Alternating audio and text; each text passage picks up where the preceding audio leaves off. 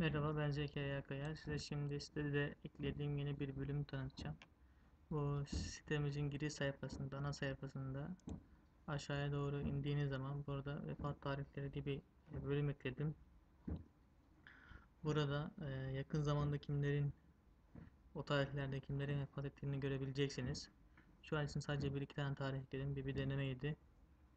Eee şu an bir kimse görünmüyor. Şurada e, yazın tarihe kadar şu anki görüntülenme süresi e, görüntülenme zamanı 3. ayın 31. tarihine kadar daha fazlasını ara diyerekten e, benim eklediğim birkaç kişi görebileceksiniz. Şu an işte eklediğim birkaç kişiyi tıkladığınız zaman buraya daha sonrakiler gelecektir. Şu tarih ilerleyecektir. Mesela e, Buradan Hüseyin Kaya vefat etti. Bunun haberini alabileceksiniz ve tarihi olacak. Burada bugünün tarihi yazıyor. Ve Hüseyin Kaya burada hemen bir açıklama kısmı var.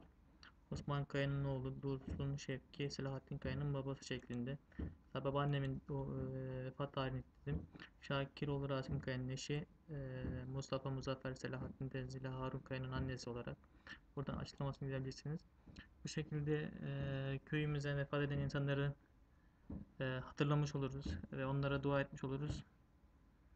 E, iyi ve yararlı iyi ve yararlı olacağını düşünüyorum. İnşallah siz de e, tarihlerle alakalı bilgiler göndererek yardımcı olursunuz, katkıda bulursunuz, katkıda bulunursunuz. Teşekkür ederim.